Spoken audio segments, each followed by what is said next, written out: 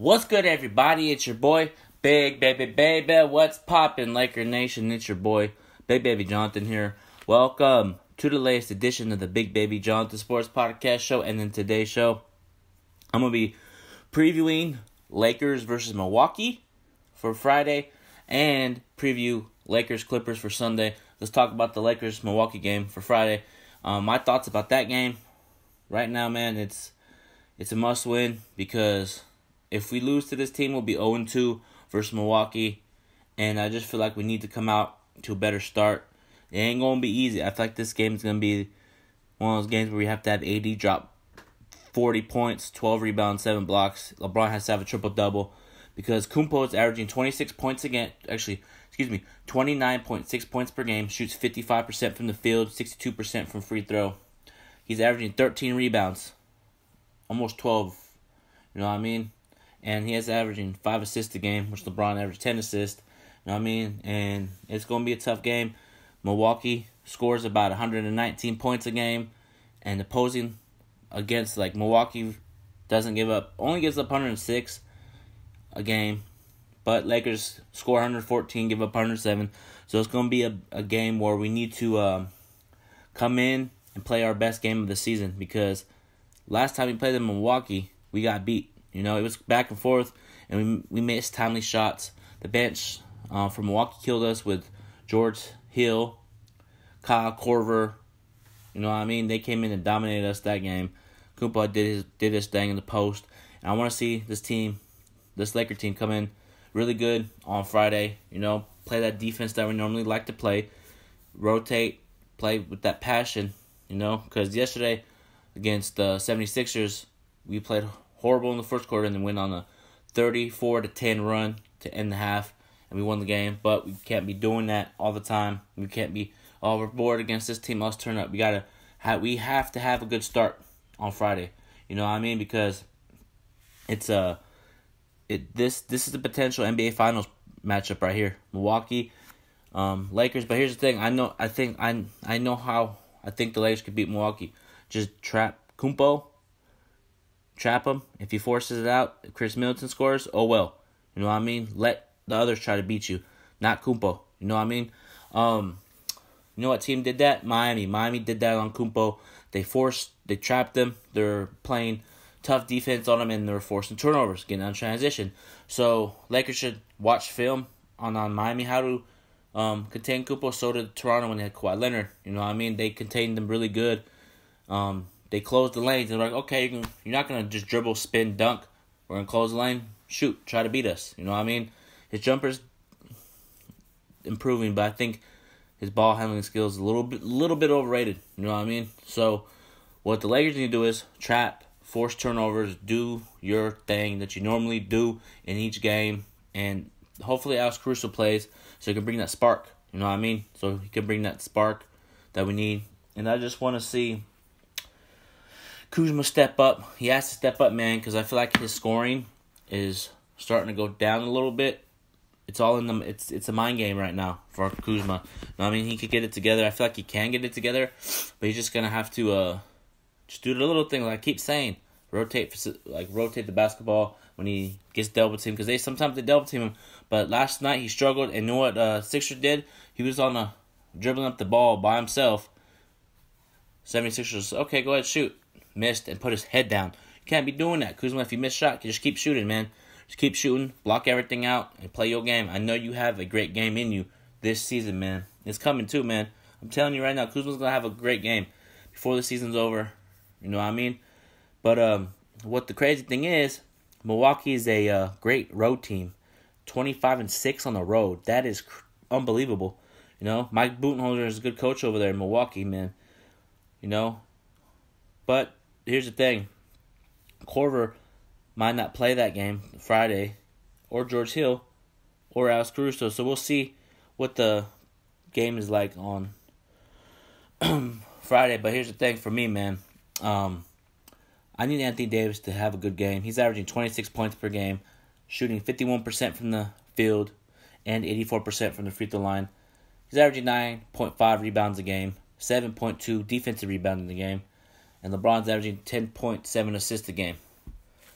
I need LeBron to take over this game too with AD. We need to have the same amount of wins as Milwaukee. I feel like we could catch Milwaukee still for that number one seed in the NBA. You know what I mean? Um, LeBron has to have one of those games what he did against the Pelicans with 40 points, dunking, you know, posting up, spinning layup every play. He needs to do that against Milwaukee. Because I feel like if he turns it up against Milwaukee, he's going to do his thing. You know what I mean? Appreciate the whistle. Appreciate it. Um, yeah, man. I just need LeBron to turn up on Friday, do his thing, shoot from the Laker logo, get going. You know what I mean?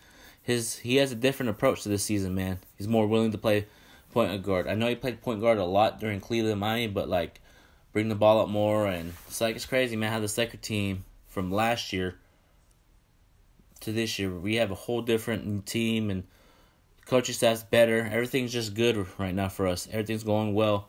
We're forty seven and thirteen, man. We're three wins away from fifty. I'm excited, but that game for me, man, Milwaukee is most important. It's a must win for us, man. We have to win on Friday in order to okay. Lakers beat Milwaukee with Kumpo and everybody healthy. But if we lose, you know everybody's gonna say in the media and on the sports talk shows on the radio, we can't be we, we can't beat Milwaukee in the finals. We can't.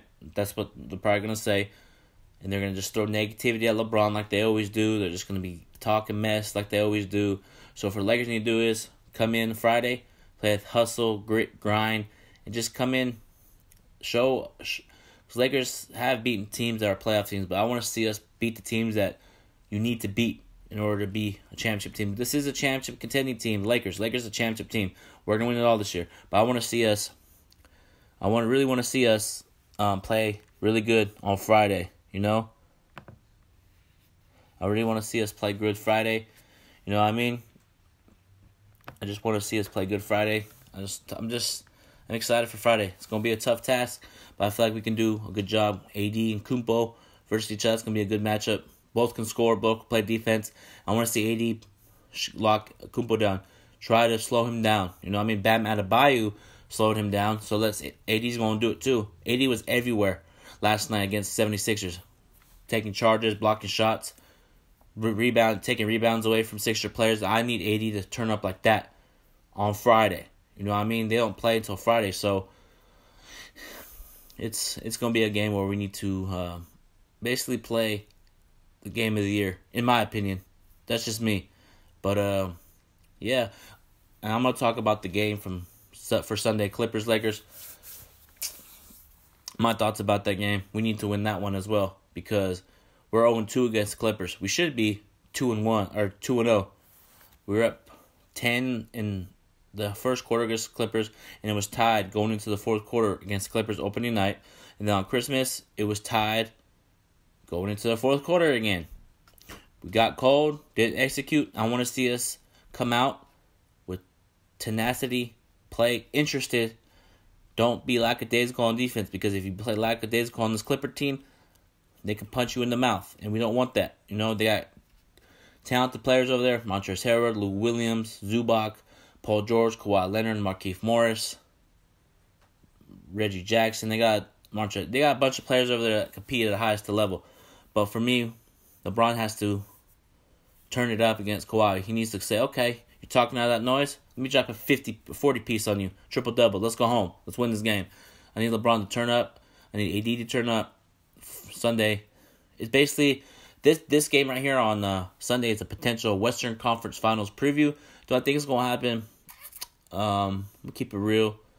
Probably, but you never know. It's the NBA, so you never know what can happen. Rockets can upset the Clippers in the second round. They can get beat in the first round. You never know. That's how it is in the playoffs. You expect, oh, these two teams are going to play in the West Conference Finals, NBA Finals, and then a team that you don't expect to win the series beats the team that you beats the Clippers, and then the next round they lose. So it's kind of NBA's a you can win in this league any type of way, you know. So Clipper, the Lakers need to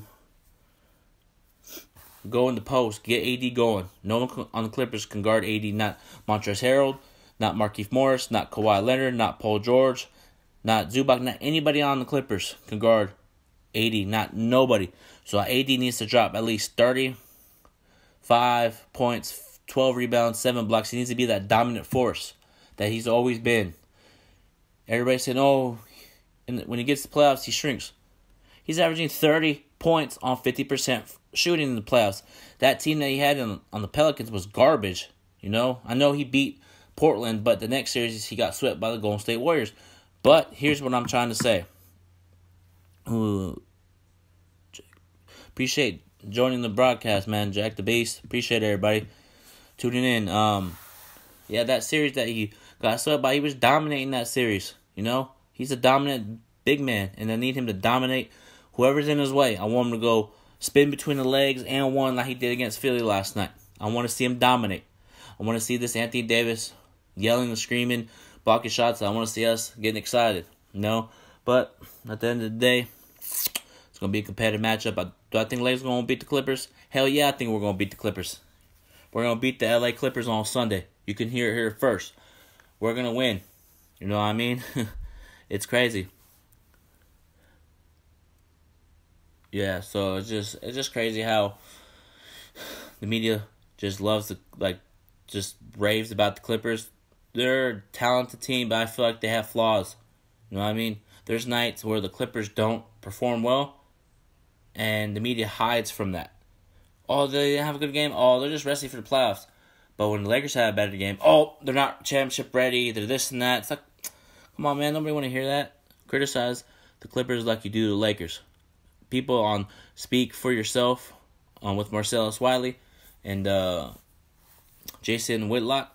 They always be talking the most. Them two, man. Marcellus Wiley follows me on Twitter, man, but he'll be he'll be talking some nonsense. The same narrative.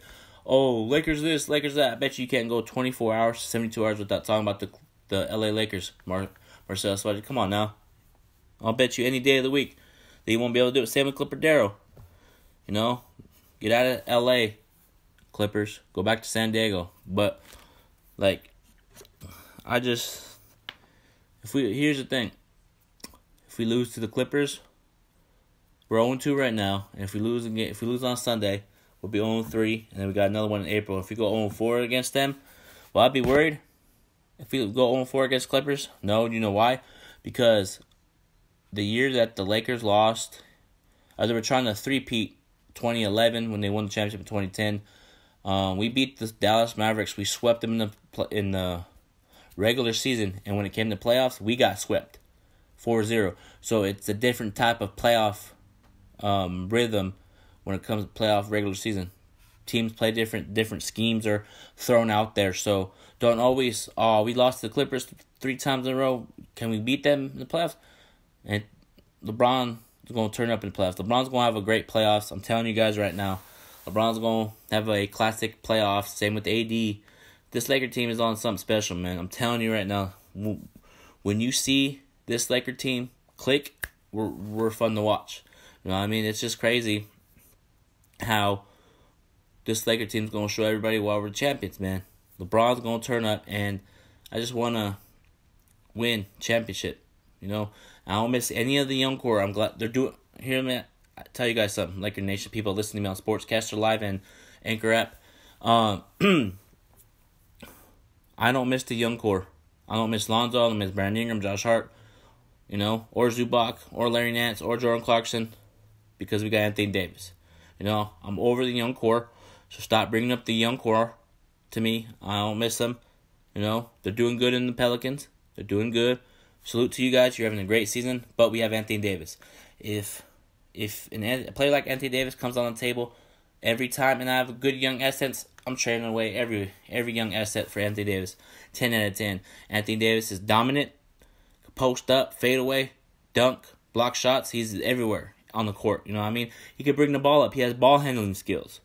So it's just, it's just we got to get it going with him. You know, and and everybody's asking on Twitter Go follow me on Twitter, Big Baby Jonathan, if you haven't already. But if you do, go follow me there. Um, people on Twitter, the trolls on Twitter would be like, "Oh, Anthony Davis is going to Chicago." You really think Anthony Davis is gonna go the Chicago Bulls with Zach LaVine, Markkanen, and Coby White over LeBron James? Chicago Lakers. Chicago Lakers. AD's gonna stay, man. That's just all speculation. Rich Paul gonna do the right thing for him. Um, Lakers are gonna do the right thing. They're gonna give him probably a max contract. You know, it's just he ain't leaving the Lakers. He ain't leaving the Lakers. I'm telling you that right now. He's not leaving LA. You know, so what we need to do is when I guarantee you, if we win the championship, you're gonna see the next day resign with the Lakers. You know. Here's the thing: if he didn't run, if he didn't, if he said I'm not gonna resign, I would, I would say Lakers trade him at the deadline, get value. But he's gonna talk to the Lakers after the season. He may take a meeting. He may not. Who knows what AD is gonna do in the summer? But at the end of the day, he's gonna resign with the Lakers. I'm excited for that. I'm just excited, man. Just excited. This is I'm gonna be start doing a lot more of these sportscasters live broadcast. People that listen to me on Anchor app too. I'm doing sportscaster live right now, and I'm on Anchor app. And also, I'm gonna end this Big Baby Jonathan Sports Podcast Show. So if you have a YouTube channel, go subscribe to my podcast on YouTube, Big Baby Jonathan Sports Podcast Show. Go subscribe to my Apple Podcast. Go leave a um, subscribe to my channel on there and comment and leave a review. Follow me on Instagram, Big Baby Jonathan underscore.